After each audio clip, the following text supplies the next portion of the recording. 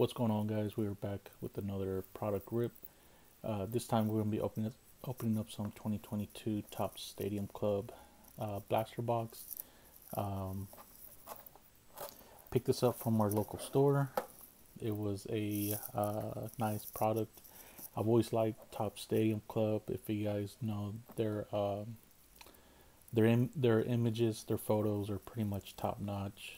Um, or you know, it's I guess some people could go against it, but I think so.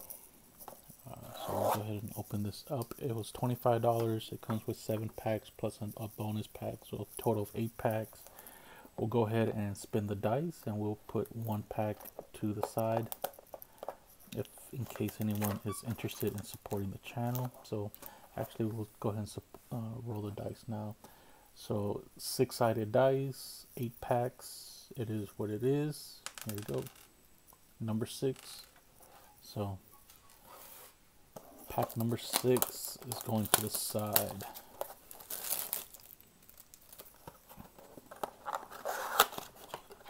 So again, if you're new to, to the channel, uh, I put uh, packs to the side of these blaster boxes and then if anyone is interested in supporting the channel, I sell these packs at retail cost plus shipping. Um, so one, two, three, four, five, and six. There we go. So got my handy dandy price tag here. Three dollars and fifteen cents. We'll go ahead and put that right here. All right. So here we go. Uh, box topper is one of these cool little whatever they are master photos which this one is all bent up on the the left side but it's pretty cool though. I like it. I dig it. Here we go.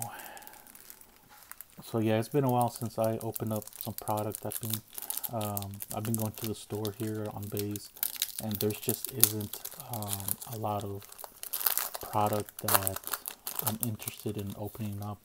You know, there is product, uh, don't get me wrong, but I'm not trying to waste my money either. You know, Carlton Fisk, there's a backward card. Let's see what it is. Spencer Tor- Torkelson. Rookie card insert. All right kind of have my hopes up for just a little bit. Uh, this is the first time that I'm opening up this product, so uh, not exactly familiar with everything going on or with this year. Uh, Ichiro, very cool card. Yeah, the pictures on the on this product is just very very cool. But yeah, so uh, I go to the store here on base, and um, you know they have Select, right? Like Panini Baseball Select and Chronicles and Prism, but you know, let's be honest, you know, that stuff it's cool, it's fine, but when you're working uh, on a budget, I don't know if it's the the best type of product you want to go after, especially if you're trying to hit something good and then try to grade it and flip it and stuff like that. So, um, but it is what it is, you know what I'm saying? Metals and yeah, the photography on these is just awesome. Look at that. Very cool Topps Stadium Club die cut. Very cool. Trea Turner. Jorge Soler. Soler. Jonathan Heasley. Rookie card. So we've gotten three rookie cards. See if we can get a few more.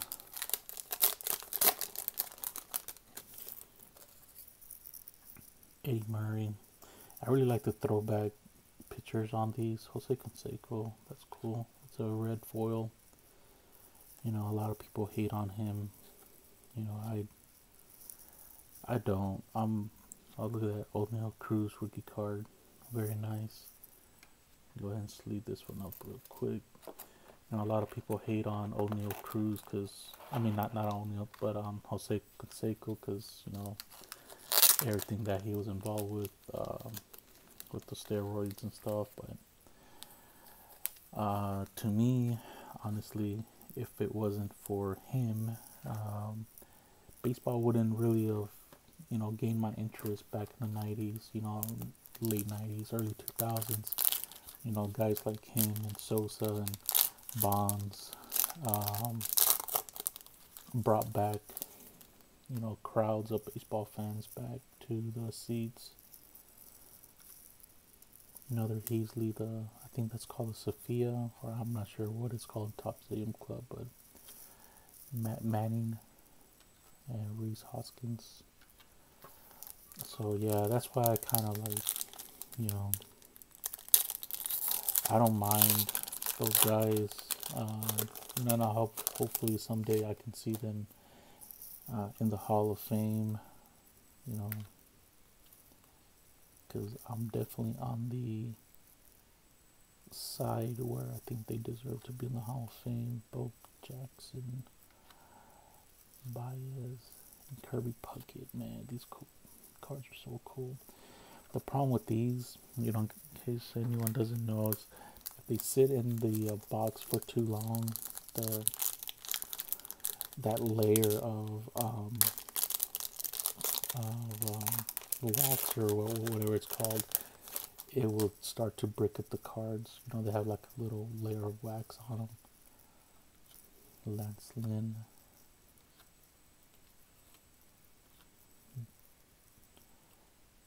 Another rookie card here.